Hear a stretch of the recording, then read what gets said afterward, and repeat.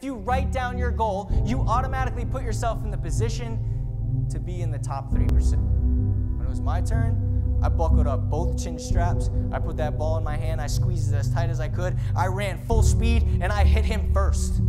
I hit him first. And you know what? The players, they didn't like that, but they respected me because of it. The reason that I ended up making the team and some of the guys that, that made the team before me that didn't last very long reason that I made the team was because I wanted it more. I wanted it more than everybody else. When was the last time you went after something and you truly, I mean, you truly wanted it more than everybody else? Fear, it is the number one dream killer.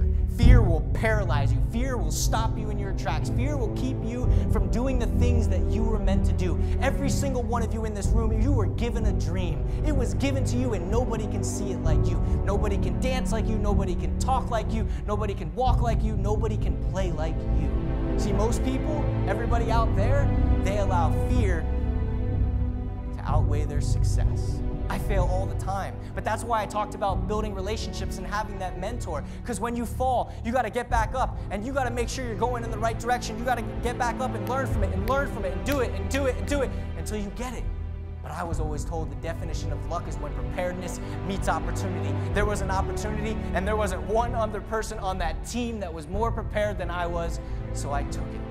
It's the person that wakes up every day and says, I'm fulfilling my purpose. I'm fulfilling my passion. I can wake up every day and say, you know what? I'm going to go and do that now. I'm going to go and write a book now. I'm going to go and work on a movie now.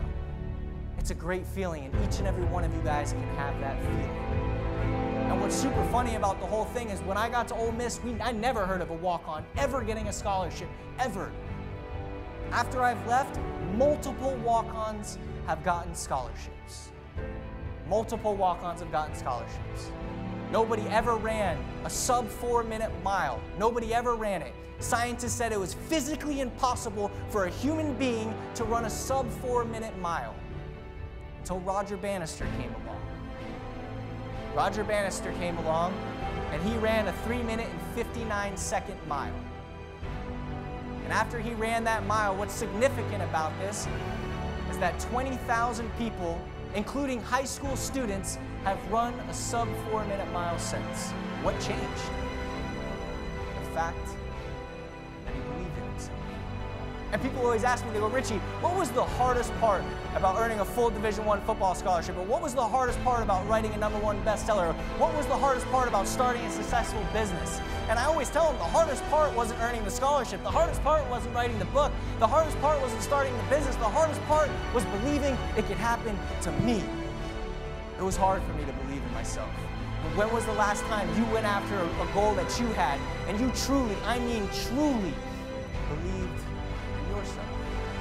And go after it like your life depends on it. Why? Because it does.